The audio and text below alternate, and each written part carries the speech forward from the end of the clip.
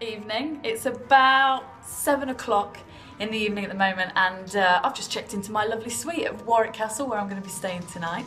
Um, we're going to now see where JD is going to be staying tonight because he's going to be sleeping in the haunted jail. I'm joined by Katie from Warwick Castle who's going to show us around his digs for the night. So, should we go have a little Yeah, look? so if you follow me down here, so JD's going to have this little corner Oh, look! down here. So he's got a little bed, He's got a little bed for the night. But we would normally lock prisoners into this little gold right underneath So that's where the ground. prisoners so were really, locked. he's being treated five star. So JD's going to be here from midnight till 6 a.m. tomorrow morning. If you just have a little look, it's, it's a small space.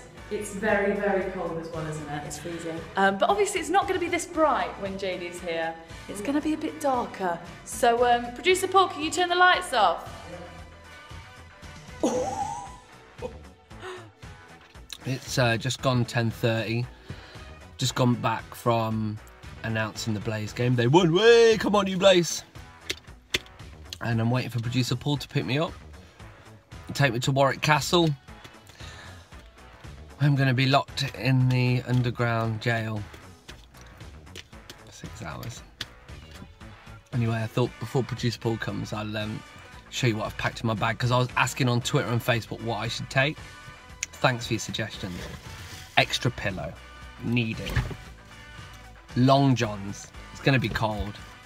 Thick knit, extra blanket. Got a magazine, I can use the light on my mobile phone to read, pass the time. You know, they say Jaffa Cakes gives you energy, you know, the footballers eat it. Two for a pound in my local shop. Boom!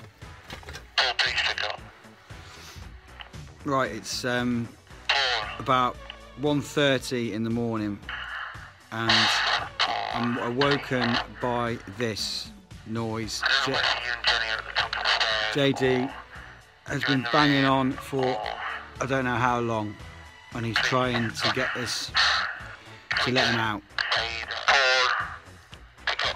I'm not going to, um, I can't, I'm not getting up. I'm not getting up. It's about four o'clock in the morning, and uh, me and Jenny have managed to get ourselves the key for the jail. So what we're going to do is we're going to frighten JD. We've got a ball, so we're going to drop it down and see if we can scare the living daylights out of him and see how it goes. Oh my gosh.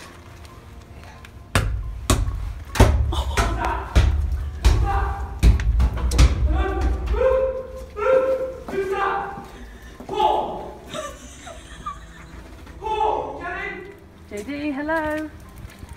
Come on, please. You said ages ago you'd come and get me.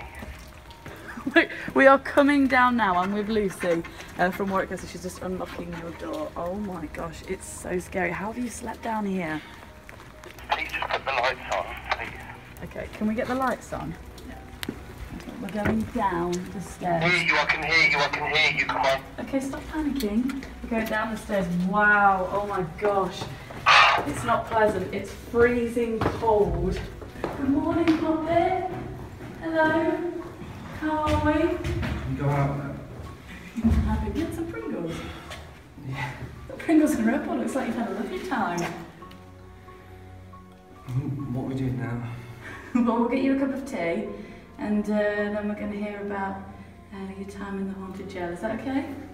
This place is haunted, Yeah? easily. You've enjoyed by some friends. Don't say that, just, we're going now.